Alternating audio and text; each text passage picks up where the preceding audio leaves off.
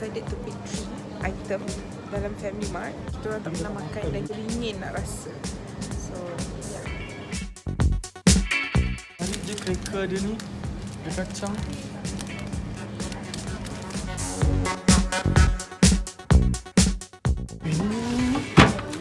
You try this? Another one.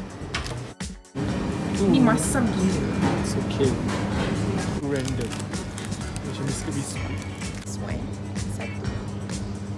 Oh, maybe we should try. Because we haven't tried yet. Compared dengan sushi king. Sama ke tak sama? Kan? We're gonna pick the item about to.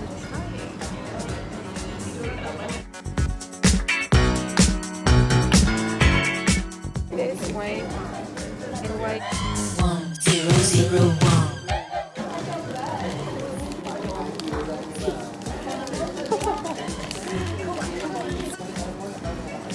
Oh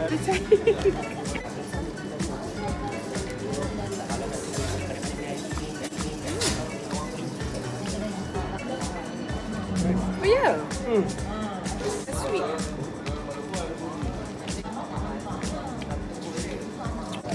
Dia punya rasa macam dia boleh say yang waffle.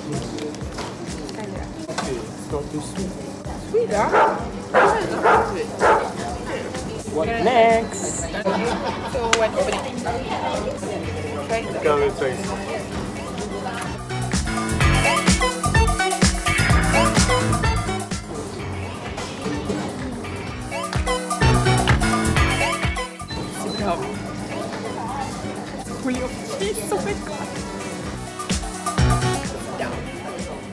Save it for the last. Okay, guys, last but not least, Um, what I have tried this one is oh, sour. sour. So to the max. Yeah, to the max.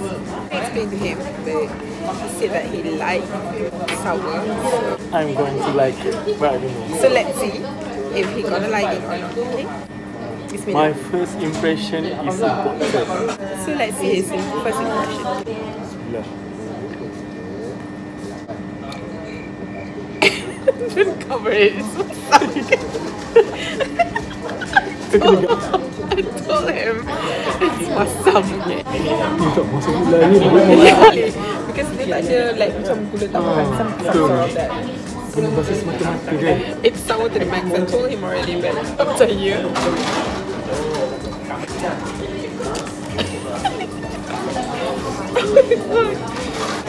and Ini pun tak membantu. and like yogurt. Dia macam The problem is, the problem is guys, yellow kind of things that I thought this was taste sweet. Hmm.